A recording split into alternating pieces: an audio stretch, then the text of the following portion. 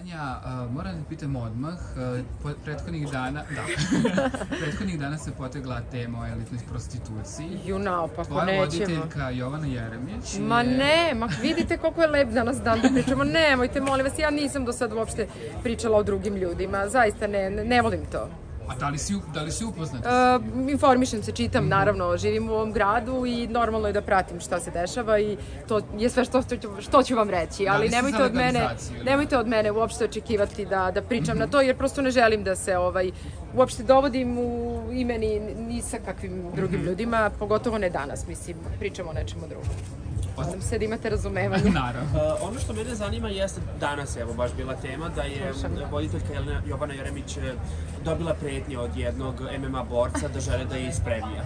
Uh, se često susrećete? Da, da li se često susrećete sa takvim Ne porukama? podržavam nasilje, to svakako. Nemam lična neprijatna iskustva.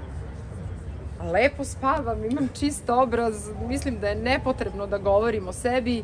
Mislim da moj život i ova javnost koji možda ne vidi, ali ono što vidi, apsolutno e, govore o meni, moja karijera, kako sam ja pre svega osoba. I nemojte me dovoditi u situaciju da se predstavljam sa skoro 39 godina ko sam i šta sam. Tako da nemojte me uvezivati sa, sa takvim temama. Ne, ne, nije uvezivanje, nego čisto da li vi kao voditelj, neko ko je Evo rekla sam vam, nemam, nemam, nemam neprijatne iskustva, Aha. apsolutno. Pritom ne visim na društvenim mrežama i nemam, lič, i nemam komunikaciju sa svim tim ljudima. Ono što javno objave, ono što javno stoji na mojim mrežama, to je nešto što vidim i to je 99,9% pozitivno. Da li, ste, da li ste možda baš zbog toga što niste aktivni toliko na društvenim mrežama uspeli da napravite distancu i da... Pa ne, društvene mreže nisu postojale kada sam ja počela da radim. Društvene mreže i uopšte cela ta ekspanzija je nešto što je poslednjih deseta godina baš uzelo maha, ne samo kod nas, to je globalno.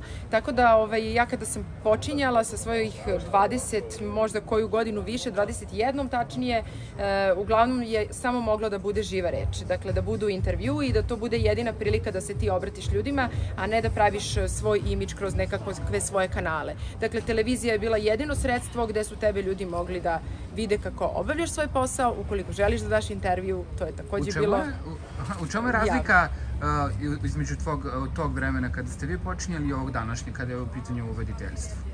Je li ima razlike? Pa e, prvo, ranije su bili javni konkursi. Dakle, ja sam se prijavila na konkurs BK televizije i ja sam prošla konkurse e, i ušla sam e, među pet novih lica te televizije. To je bio poslednji e, konkurs koji je bio ikada konkretno za BK televiziju e, formiran. Posle toga, ja iskreno nisam imala priliku da vidim da se često pojavljaju konkursi, možda jednom, dva put neku televizijsku reklamu za sve ove godine i to je sve. Tako da, m, ne znam, ja sam ušla Ja sam iz tog vremena i ja sam ušla u svet televizije na taj način. E, Sve ovo ostalo što danas postoji, a koji treba da postoje i ljudi treba da imaju priliku e, da se pojave, da nešto nauče i ako nauče, ako budu dovoljno dobri, da im to starije kolege, urednici aminuju da su oni spremni i sposobni za rad na televiziji. Rad na televiziji zaista je jedna i tekako kompleksna priča s kojoj morate biti potkovani sa mnogo stvari koje možda se ne vide u prvom trenutku, ali to je zaista jedno dugo iskustvo da bi sve bilo onako kako izgleda, a da deluje ležerno i profesionalno. Uh, kada smo se dotakli Instagrama, da li dobijaš uh, udvaranje od muškaraca preko... Ne. Ne? Ne. Ne, verujte da ja, verujte ne da ja ni, ni, ni ne otvaram, mislim, meni je Instagram bukvalno blokiran, te neke opcije ja, ja prosto ni ne koristim, tako da ne znam ni da li ima maksimum tu nekih poruka, to nije brisano, ne pamtim. Samo ono što je javno objavljeno, to je sve što mogu da vidim. Uh, Sanja, da li ostaješ i dalje voditelj uh, Zvezda Granda, s obzirom da evo Marija je rekla da ističe ugovor sa United Medijom, isto tako je potvrdila tvoj Stvarno? Viki, tako je. Dobro, znači Pa je ugovori dovodi ipak se- postoje. Tako je, Dobro.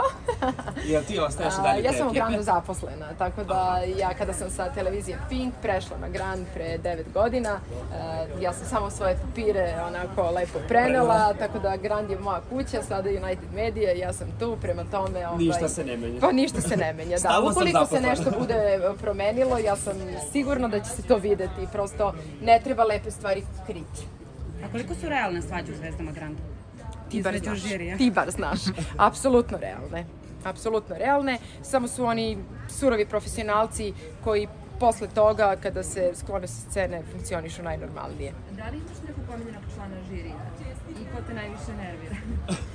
Pa niko me ne nervira, sve sam ih vrlo dobro upoznala, oni koji me prekidaju, umem i da im sada već vrlo lako i kažem da me ne prekidaju, da nije kulturno, ali mi smo jedno zaista uigrano odeljenje, ajde, da mi nekako volimo da koristimo tu reč, jer zaista idemo već i ne znam koji razred u osnovnu školu zajedno i toliko se lepo i dobro poznajemo da znamo jedni drugima i mane i vrline i prosto smo prihvatili jedni drugi ovakve kakvi jesmo. Hvala puno. privatno, od samog žirija. Od članova žirija? Na čiji bi koncert? Pa na Marijin sam bila i mislim da je uradila sjajnu seriju koncerata i jedva čekam da pripremi novo kako bih e, slušala sledeće njene interpretacije jer mislim da je tu apsolutni mag.